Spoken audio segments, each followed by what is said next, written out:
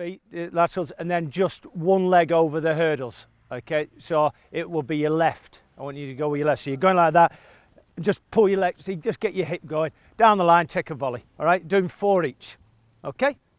And then a little bit movement, okay, okay, good.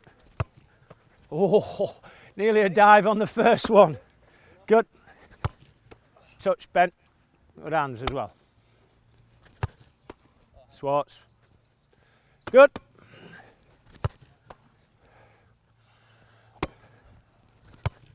Nice. Swartz, good. Good. Well done. Nice. Last one each. Good. Good. Nice. Okay, good.